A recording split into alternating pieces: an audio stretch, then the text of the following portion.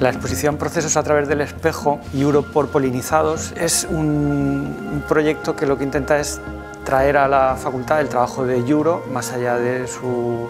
pintura en distintas ciudades a nivel internacional, en Europa, en América, en distintos lugares, y eh, poder mostrar el desarrollo de ese trabajo a lo largo de 10 años aproximadamente, una década,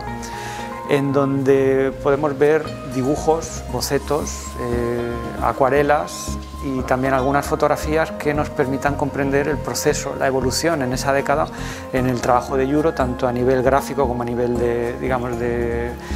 contenido, a nivel de metáforas, a nivel de temática. Trabajo pictórico de Yuro es muy potente porque no solo en los murales, sino también cuando, cuando hace los cuadros para las exposiciones,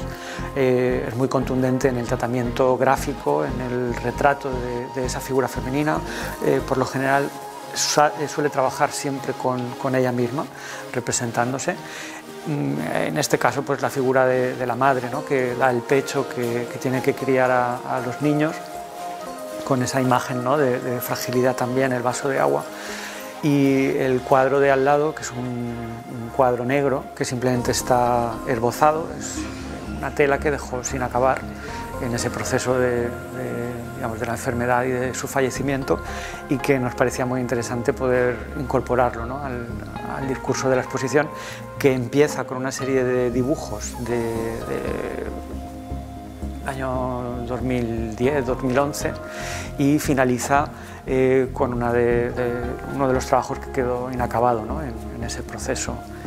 de la enfermedad. Y cuenta muy bien eh, ese crecimiento y ese, esa manera de abordar distintos temas, siempre con el punto de vista sobre el,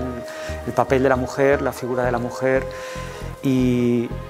el desempeño de la mujer en, la vida cotidiana, tanto en, digamos, en ese mundo íntimo que tendría que ver con lo doméstico, como incluso en ese mundo social que tendría que ver con la política, que tendría que ver con otras dimensiones.